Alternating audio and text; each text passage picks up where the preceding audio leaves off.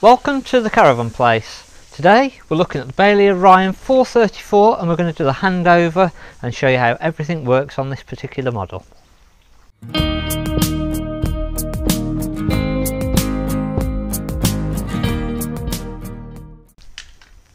So we've uh, we've come to site and we're going to get ready to set the caravan up, run you through how everything works, how where everything goes. We're going to start with the the gas again we're going to make sure that everything has been turned off inside and it's all in the in the off position. So you've got nothing that's going to uh, light up or start. So uh, got room for a six kilogram bottle that's in the back at the moment. And there is also room for a 3.9 kilogram. Uh, we've got it set up on propane. So again the little pigtail here with the screw connector will be on the van it's then remembering that that's a reverse thread and a little spanner to, to tighten that up. So uh, that's opposite to what you'd normally do uh, to tighten and loosen. So to tighten it you, you loosen it in a conventional way. And uh, again to take it off you've got to tighten it in uh, in standard terms. We've then got our battery box with our 230 hookup connection. Um, got the little cutout so the lead just folds through so when we're on site we can lock that up. Just underneath of that we've got the on and off switch for the motor mover. So there's a little key switch that's on the keys that that will turn the, the motor mover on and off. So again that must be put on first before the uh, the motor mover will work. We've then got our battery compartment this will take up to about 115 120 amp leisure battery. All all pretty much all the leisure batteries will will fit into there. So uh, and again it's just blue is negative and red is positive. There's a little battery strap strap there to go around the battery just to secure that into place also. The little tray it is better to use that so that uh, if any any drips off the the battery um, any battery acid or anything it's just going to go into the, the tray and not cause any damage with anything else. We've then got a little storage locker so straight underneath of the bed. So uh, if you need to put anything in out of there you can access the bed from inside also but that again is a nice nice little locker. Do you have to just remember on these lockers it is a good push in when you come to lock them. So uh, and again you've got the key there just turns and locks in moving to the other side. We've then got the cassette toilet. So again to actually use the cassette toilet or to empty the cassette toilet I'm not going to show you how to use it just yet. And that's actually oh no it's not. Do just have to be careful sometimes that if it's if the cassette isn't coming out uh, nice and easily there's a chance that inside that the little trap is in the open position and what that basically means is this little guide here uh, it will stop the cassette coming out. That has to be fully closed inside on the on the little trap. This will then be in line as it is now and that will come out. So always just make sure that if the cassette isn't coming out that inside that the little trap is is closed off um, and you can't let anything through. This will then slide out nice and easily. To actually empty the cassette, screw cap comes off the end and then we've got a little air valve at the back so we hold that and that will then empty out into the Elsan points on, on site. It has got little wheels and a little handle as well so uh, when you're taking the, the wastewater container you can just take that across with you also and again it just drops back into place and slides back in. Top one we've got our uh, flush water. So again this just opens up. Little watering can is probably your best bet. Tip your water into there. You can put the pink chemical pink chemical that goes into the top blue into the bottom. So pop a bit of uh, pink chemical in there. There isn't any gauge to tell you when that's full. It's literally when your feet get wet it's full uh, again, I wouldn't advise travelling with that full because it is going to end up then sloshing around in there and possibly coming out inside in, into the caravan so I'd fill that up when you actually get on site it's okay to travel with it less than half full, a quarter full, something like that. But the problem is it's difficult to gauge when that is actually half full, full or empty. So uh, I would say make sure it's as empty as possible when you're travelling. During the winter, to drain the flush water off, we've got a little bung here that's just tucked up into the top. That literally just pops out. There's a little bung in the in the end. We undo the bung and that will drain that water out. What you do want to make sure is that if you just leave it it's going to end up putting water into here. So you are going to have to hold it while it drains off. The other thing is stand back because as soon as you release that if you've got it pointing at yourself you're going to get soaked. Uh, it is it is the clean water um, but it's still not very nice.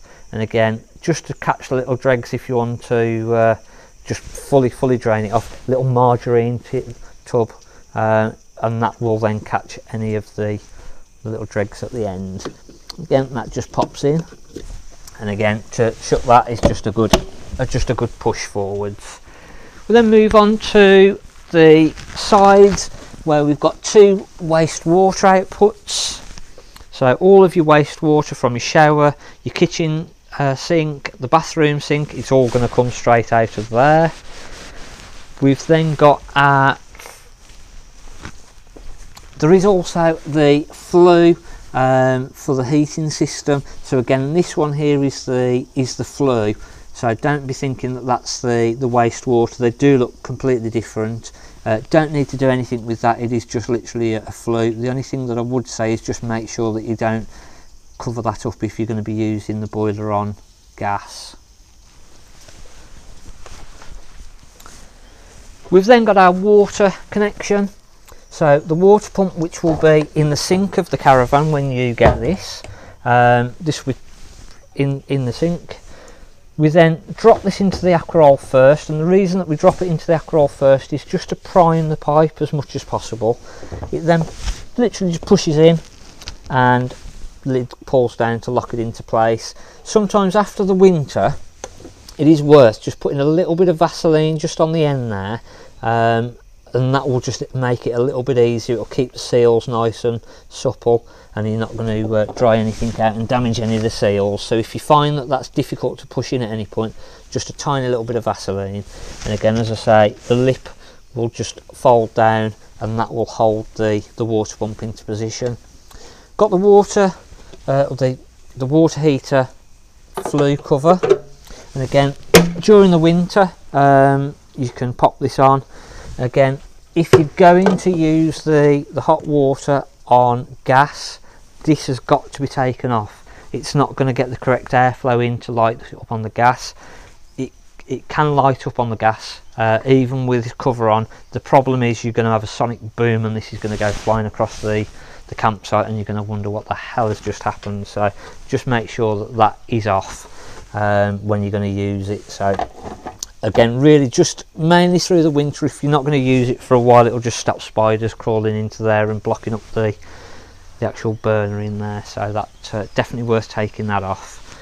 We then move round to the the front. Now this again most of the vans sort of 2010 on are going to be set up with 13 pin electric so if you've got an older caravan um, or your car is set up for 7 pin electrics make sure that you've got the 13 pin connector or an adapter otherwise you're going to turn up and we're not going to be able to get your lights working on your car and it's going to be a bit of a wasted journey. So this will need if you've got 7 pin connectors on the car. You'll need a female 13 to two male 7 pins. They do also do a single converter which converts from the 13 to a single 7 pin uh, which will just operate your lights. So again important that you've got an adapter or you've got the 13 pin on the car. Uh, got the handbrake. So again when you're not uh, when you're going to park up pop the handbrake on and then we can take it off of the car the one thing that I'd say is if you're going to leave it for any period of time probably actually chop the wheels put some uh, little chocks at the front and the back of the wheels and you can leave the handbrake off then that just stops the brake sticking on at any point. AL-KO AKS hitch head, uh, when you come to collect the van we will actually run through this and just make sure that you're happy uh, and you know exactly what you're doing when we when we hitch this up so we will run through that properly. We have got another video as well um, that just goes into a little bit more detail on on this. We've then got the breakaway cable again that's an important one that we've got to make sure that as we're hitching up breakaway cable is on there and connected uh, and that will just if it, if it were to ever come detached from the car breakaway cable will pull the handbrake on and stop the caravan where it is and then we've got our jockey wheel which will raise the caravan we can use that for getting the caravan fairly level and also to raise it and drop it onto the uh, onto the tow ball of the car We'll now move inside. So we've moved on to the inside of the caravan now and we've got the main control panel. Now we've got our master 12 volt on and off so this will put our main power from the battery into the caravan. Um, because we've got the caravan battery and the 230 volt plugged in we'll see that we're just under 13 and a half volts so that will tell us that the actual charger unit is working um, this will also, when you've not got the 240 or 230 volt plugged in, it will give you a reading just straight off the battery. And as long as your battery is okay, it's going to be between 12, 12 and a half volts is where we want to see that. And again, that's a quick check just to make sure that the charger on the caravan is working okay, that we're then up to sort of just under 13 and a half volts. We've then got our lights on and off, so this will control all of our main lights on and off. So again, if if you've got all the lights on in the caravan and you're going out for an evening meal or just an evening walk you can just pop this one off and it will turn off 90% of the lights in the caravan. So then when you come back in flick that one on and your lights will come on save having to put individual lights on throughout. We've then got our warning light on and off switch uh, and our water pump on and off now water pump we want to leave that off just for a little bit. Uh, we want to make sure that our drain bung on the water heater is closed down and we also want to make sure that all the taps are in the closed position. If we go and put the water pump on now and our drain bung on the water boiler is open which I'll show you now. So we've got a little yellow valve which is really through the winter this is what we're going to use to, to drain the water system down and then to fill the water system back up we want it flat horizontal as it is now uh, and then vertical in the upright position to drain it off. So we need to make sure that that's down um, and that is then going to let us refill the system and then we want to make sure that all of our taps are in the off position. So we're not going to put the water system on and just be bellowing water straight out. Um, so we want to make sure that we've done that before we put the water pump on. Um, before I do that I'm just going to run the run the gas system through um, and I'll do that and then we'll come back to the the water pump. So onto the gas system. The We've made sure that the gas bottle is connected, we've made sure that the gas bottle is turned on on the actual gas bottle itself and that should then give us gas into the caravan. And it's literally then on the control dials hold it in and turn it round and you should hear the gas start to come out. Give it a few seconds and then on the oven itself we've got the igniter button. We can hit that and then we should get the gas through the system. There we go. Again when we've reconnected a gas bottle up for the first time or we've had it disconnected over the winter it is going to take a little bit of time to draw the gas through. Uh, the reason for that is all the pipes are going to be empty of gas um, and we're going to have to draw the gas from the bottle through to the appliance. Now we like to start at the hob reason for that is we can actually physically see that we've got the gas there. Um, this will just draw the gas through the system and it will make everything else an awful lot easier to, to light up then. So our fridge on gas is going to light up quicker. Our oven on gas is going to light up quicker and our boiler on gas our heating is going to light up quicker also. Um, these have all got flame failure devices on so if they were to blow out in the wind it's just going to cut the gas off after about 30 seconds and we'll hear those click. There's one two and 3. So that clicking noise is the gas flame failure device telling us basically that we've shut the gas off. So unless you were to actually turn the gas back on and ignite it now, it wouldn't light up. We've then got our oven, which this is a dual oven, so it does the grill and the oven all in one. So we've got one side for the grill, which is the top section here, and then we've got the other side for the oven over here. So if we want to use the um, grill, I've got a feeling, turn it to that side. and that will light up we can then control that and turn that higher and lower we can turn it off even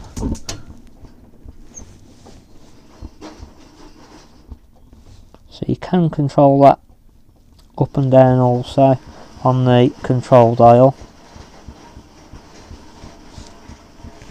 And then for the oven it's just the other side. And again exactly the same we just hold that in. And that will light the oven up then. Don't know whether you can see that with the grill pan in the way. And again these are thermostatically controlled so whereas on the older ovens you'd turn the gas control dial up and down and it would change the flame it's all thermostatically controlled now so when the oven door is closed up um, that will get up to temperature and then the flame will die down so if you are changing the dial around and you don't see anything happening, that's completely normal. It is, it is what's supposed to be happening. Um, as I said, by starting with the hob first and getting the gas through the system, it just means that we're not going to spend as long then trying to light up the fridge on gas trying to hit, hit like the heating system up on gas everything is just going to run a little bit quicker um, so if we light the fridge up on gas now so we pop it over to the, the gas symbol on our control dial here.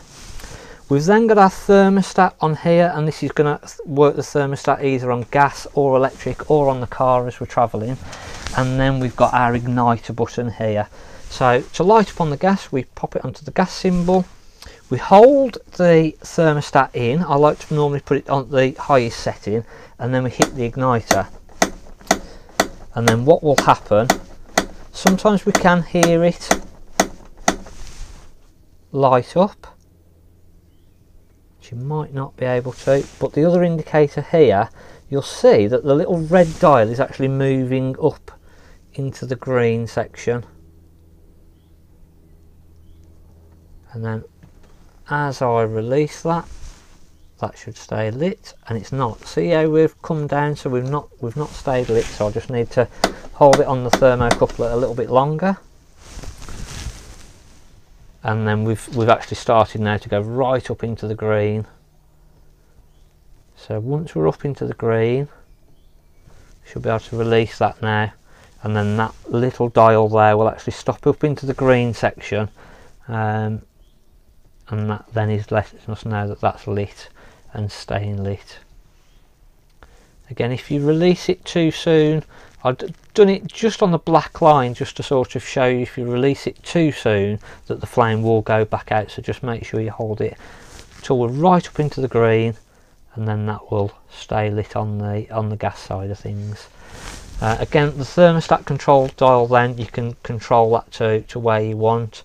If you've got it up too high, you may find that your milk is starting to freeze. So as you use it, probably if you start off in a mid setting and then adjust it from there. If you need it a little bit cooler, just a little bit higher. If it's getting a bit icy, uh, just, just come back off a little bit.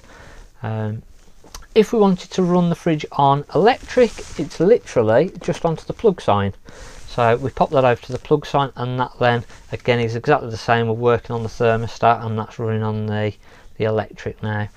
The battery symbol, it doesn't actually mean that it will run off of the battery on the caravan. It is literally just saying that that's the 12 volt side for the fridge, which if you've got the 13 pins connected on the on the car, that should operate then from the, the car as you're travelling. A good bit of advice is probably if you if you can get the caravan at home have it on the drive, run the fridge for a good four or five hours, get it right down to temperature, and then as you pop it onto the, the car when you're travelling, it won't freeze it down, but it will it will pretty much hold the temperature of the fridge then when you're travelling for a good two three hour journey. Um, it it runs off the car um, off the alternator basically off the car battery side. So it's not going to freeze down like it will do on the electric or the gas. So if you just put it onto the car battery without getting it cold first it's just going to act like a cool box. It's not going to freeze things down. So uh, as I say just run it for a good few hours before you travel pop it onto the car and that will keep it then in the same state hopefully all the way through. Um, we can then move back onto our water system. So we now know that we've got gas through the system. We now know that we've changed we've turned all the taps off. We have got the drain bung on the water heater in the down position. So we're pretty confident now we can put the water pump switch on and we're not going to have water either coming out of all the taps everywhere or that it's just going to be emptying straight back outside. So uh, we can then go to pull the water through the system. We're going to start on the hot side and we're going to get coughing and spluttering for roughly four or five minutes. Uh, and the reason for that is the water heater is empty of water at the moment. So we've got to refill that water system back up. Um, now that's an important thing to remember because if we go and put our water heater on either on gas or electric there's a chance that we're going to damage either the element on the electric or the actual container for the for the hot water system itself. So we need to make sure that we've drawn the water through the system and we've got a constant flow of water as we now have here. Uh, we've cheated a little bit because the, the system was already half full in all fairness um, so we've got a little bit of coughing and spluttering. If you're just coming to fill the caravan up after the winter it's going to cough and splutter for an awful lot longer than what we just saw. Um, and again we can then just run the cold side we'll do the same then on the bathroom and on the shower because it's on a, it works on a pressure system. So we want to make sure that all of the taps are drawn through fully. Um, we've got the water through all of the pipe work and we've got no air left in the system. Otherwise you are going to have problems with the pump kicking in and out um, and causing a, a, bit of a pressure pressure problem. And so we can now once we've got all the water through the system on the hot and the cold system we know that that water tank is full we can now put the water heater on on 230 or on the gas now if we want to operate it on 230, first thing that we have to do is turn our little fuse trip switch on here. So this is basically a fuse spur switch which has got a little fuse into the bottom. So this has to be on before the electric side of the heating can work. Um, the actual dial now can, to control the 230 side is on the bed box or on the bottom of the bed box on here. So if we want the 230 on now on the lower setting, we put it to the top, to the low side, and if we want the hot water on electric on a high setting, we'll put it onto the bottom section. Now one reason that we might want it on high or low is depending on what the ampage of whatever site that you go onto. So if it's a lower ampage site and you can't run as much on electric, you may have to run this on the lower side and that will use less electric and it will allow you to use more things in the caravan on electric whereas if you've got it on the high setting you may find that you'll put the TV on and it'll blow the electrics if you've got the fridge on electric the water heater on electric and the heating on electric um, anything else then you you might find that you're going to blow the uh, the trip switch on the site so you may then have to run it on the lower setting or if it's a higher ampage site you'll be able to run it on the higher setting um, again, make sure that we've got all the water through the system before we put this on, either high or low, otherwise we're going to do damage to the element um, for the hot water system. If we want to use this on gas, again we've got a high and a low setting then on the on the gas and it is literally just we put it straight on. Um, one thing again remember when we had the external cover that's got to be removed before we either put it onto high or low on gas otherwise it's going to have problems lighting. Um, so again on this one you can see that the low setting is 50 degrees the high setting is 70 degrees. Um, so you can then set that to, to where you want it to on the on the gas. That will light up an awful lot quicker if you need to use it on the gas if we've drawn the gas through as we've just shown you by doing it on the hob. Um, individual light switches then for the the caravan. So each light has got its own individual light switch on. And the big switches or the big roof lights have got again their own little switches. And again as I was saying earlier about if you were going out for the evening you can turn just the light switch off here and that will turn all the lights off in the caravan. Um, so again that's just a nice little feature if you're going out down the pub and uh, you save trying to find all the little switches afterwards once you've had a few drinks. Just one switch and that will put them put them all on. Um, onto the heating system. So we have got the the blown air heating in this one which works on gas and electric it's the Whale space heater um, and top dial is our thermostat so that's going to control what temperatures we we want it at. And then our bottom dial we've got fan gas and then at the top here we've got 500 watts a thousand watts or 2000 watts. And again one of the reasons that we may need to use different settings either 500 1000 or 2000 as i was saying before if you go onto a site that's a low amperage site you may need to use it on the 500 watts along with uh, the lower settings on other electric items. To actually use the heating on electric we first have got our fuse spur system so a little bit like on the water heater we have to put our fuse spur system on first and then if we're using it on the electric we can select then whether we want 500 1000 or 2000 and then you'll hear as we turn that on you'll hear the boiler system kick in.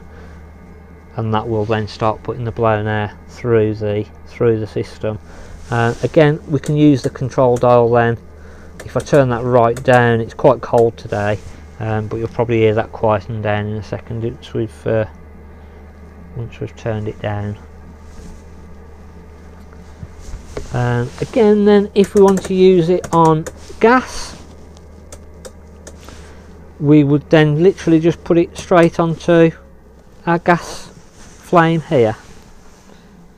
And this will then after it's just gone through its little cycle that'll light up on the on the gas section the little vent on the outside by the waste water vents the little flue that we saw outside this is where that is going to go. So when we run this heater on gas that's what you're going to see um, that that will put out a um, a slight heat and, and the exhaust basically of the gas. Once we've actually kicked in on the gas you'll see that the little light there comes on just to say that that's running on the on the gas side of things again we've got our thermostat then at the top and we can set that to what we want it to to a comfortable heat. If we wanted just blown air around the van so if we're into the summer now and we're getting a little bit warm in the van and we just want to circulate a little bit of air we can put no heating on whatsoever and we can just use it as a blower and that's just going to blow the air in the caravan just circulate it round and just cool it down slightly so if you open the door put your fly screen across on the door um, and it's just going to circulate the air in the caravan then. When we turn this into the off position the fan is going to run for around about 30 seconds to a minute. Uh, that's just clearing everything through on the on the heater itself.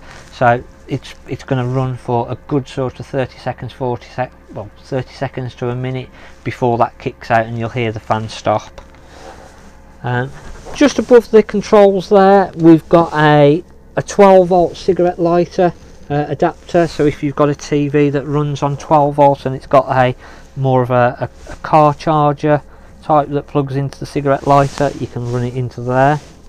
We've got a TV aerial point that works off the status aerial that's fitted to the roof. And then we've got a satellite point which on the outside will have a um, a little satellite connector basically that if you go onto a site and they've got satellite points you can wire straight into that. You have got to run it either through a Freeview box or a satellite box to uh, to actually watch those channels. So onto aerials. We've then got the status aerial in the front locker above the uh, the front seating we've got our booster box. We've got the little blue light on there just to indicate that that is operational and working. And once you've got your TV plugged in if you're having trouble getting a signal the directional aerial we can actually move this around and we can put it up and down and we can put this into a position that you want. So we first release the unit. We can then turn this all round and put it into whatever direction that we want. We can then lock it back off with the little lock nut.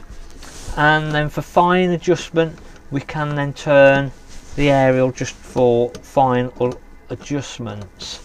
And for travelling the there's a little red dot on the actual pole itself. Now this indicates the front of the antenna. Um, so the front part of the antenna um, is is now pointing to wherever our dot is. So I believe I will just double check in a second that we want that facing the back. So the front of the aerial now is facing the the back of the caravan and that is going to be the best way to to actually travel with the with the aerial. So again just make sure that that red dot is facing the back. We can then lock that back off and that now is back ready to travel.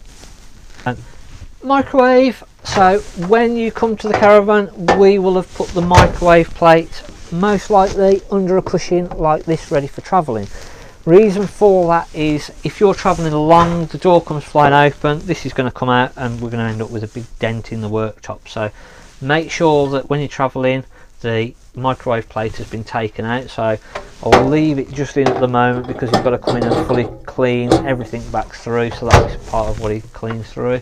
Uh, we've then got our different settings on the microwave um, and again we can then just set that to we can just either set it to the time we can set it to different settings. Again a little bit more in the in the handbook if you wanted to definitely use that. One thing that I would say with the microwaves they they never fitted these with the right amount of air space around them.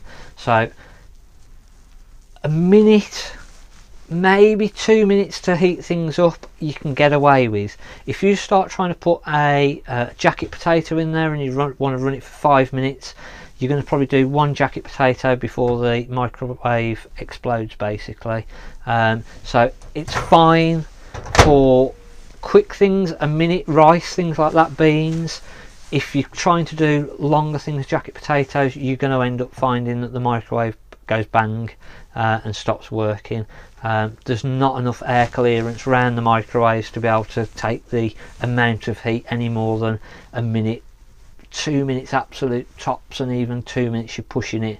Um, there's just not enough ventilation around these microwaves to be able to take a, a, a longer cook uh, in there unfortunately. So just make sure that if you are using the microwave um, it's it's not going to be run for, for any longer than um, two minutes absolute maximum.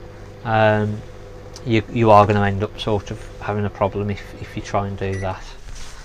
Um, storage underneath of the bed we've we've fitted the, uh, the, the the blind on on this one for the customer. Um, so again this just literally pulls across and works a, a nice little divider. You've got the um, you've got the little blind as well that comes down um, the little Venetian blind and then you can adjust this as, as so as well. It clips into the bottom sides with little clips. Again make sure that you've unclipped this before you try and move the blind up and down or you're going to end up damaging the the little clips on there. Um, storage underneath the bed. Again, we've got the locker on the outside that comes in into here, so we've got all the carpets in here, the winding handles in here. There is a caravan cover as well for the winter. at the back there we can see the motor mover box. There's nothing really to have to do anything with that. Just make sure that you don't put anything heavy on there to, to damage it. Otherwise, it's uh, it's a great storage area. Um, you've got the blown air pipes that run through there also. Um, got the wardrobe on the side. We've then got a, a little light switch just for the little light here. The other switches have got their own individual switches on there. And then in the bathroom we've got a, a pull cord that puts our lights on into the bathroom. Cassette toilet. As we said, to actually remove the cassette on the outside, we need to make sure that the little trap door here is closed.